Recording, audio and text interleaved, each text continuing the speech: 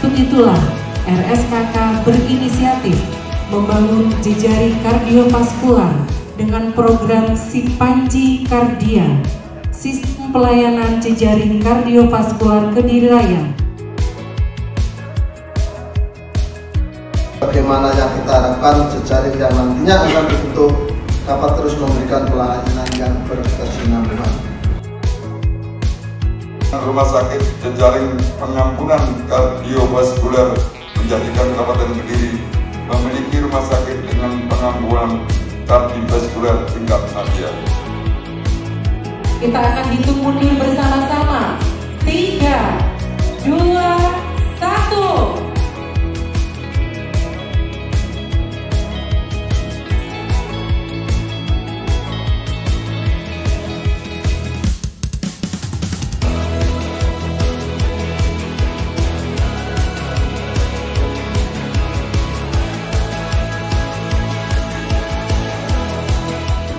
dan mudah-mudahan dari kesempatan ini memunculkan minat-minat dari teman-teman mungkin yang masih belum ambil spesialisasi bisa tertarik di bidang kardiologi.